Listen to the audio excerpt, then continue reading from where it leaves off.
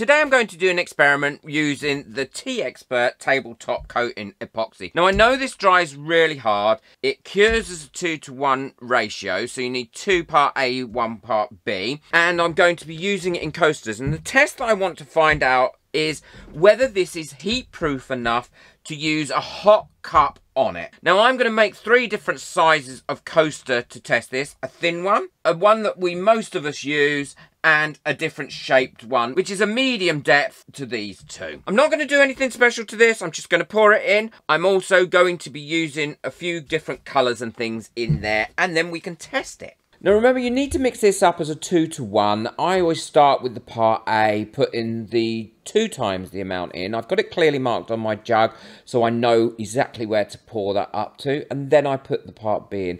Mix it slowly and then pour it out. I'm going to do a clear one and the other ones I'm going to mix stuff in so we can do some comparisons with them. Massive thank you to all my members whose names are coming up now. If you'd like to become a member of my channel and benefit from all the perks, the link's in the description below.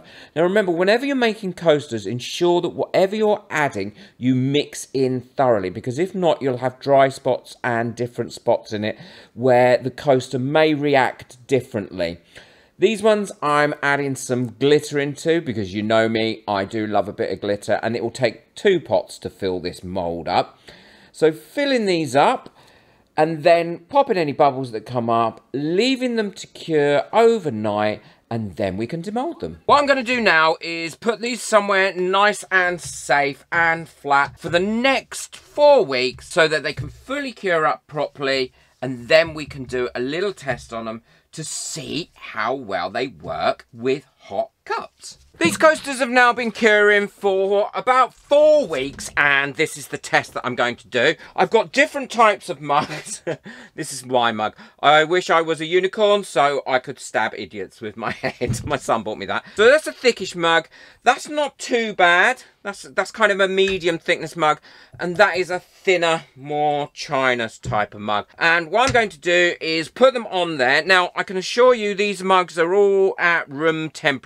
I haven't put these in the fridge or anything to cool them down first like I know some, let's say, unscrupulous people might do but I'm not doing that. And I've got a flask of hot water. I can't do it straight from the kettle because we don't have a kettle in our house, oddly enough, because we have a hot water tap. So I'm pouring the water into these mugs while they're sitting on here to get the best from them. I'm going to see if they stick or mark these coasters. I'm going to quickly take that temperature, and that's 158.1 degrees in there in Fahrenheit, which is about 72.2 degrees in Celsius, which is roughly about what a hot cup of tea would be. And now we're going to leave those sitting there on there for about 15 minutes. And I think leaving them sitting on there without touching them for about 15 minutes is ideal because that way, if someone left their cup on a coaster, then we would see what happens. So timer, 15 minutes. Let's start the timer. And now we'll leave them there for 15 minutes and see what happens. These have now had about 13 minutes sitting here.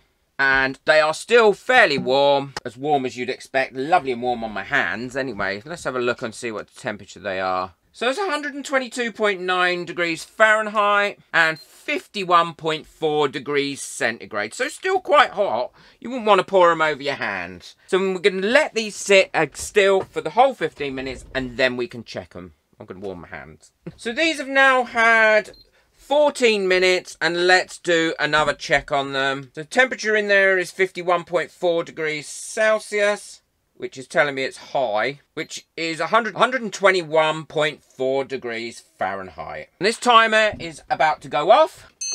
There we go, that's that timer. So that's had a full 15 minutes sitting on there and we can test to see if it's marked any of them. Well, none of them are sticky. There is no doubt about it. I can feel the warmth in here, but it doesn't seem to have held the heat in there at all, which is great. And the bottoms of these mugs are, yeah, are hot.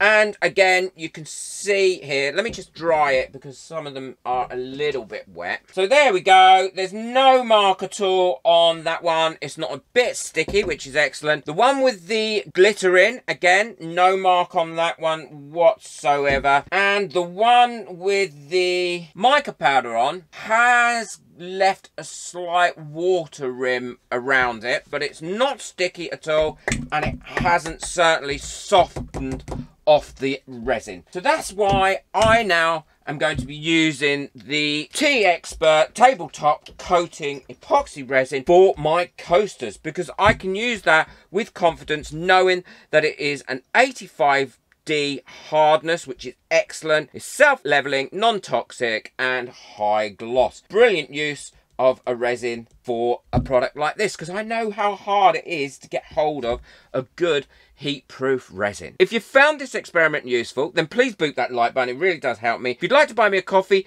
then the link for that is in the description below. And thank you to everyone that got me a coffee last month. It's people like you that allow me to buy the stuff and do the experiments that need to be done. Enjoy your resin. Take care. Bye.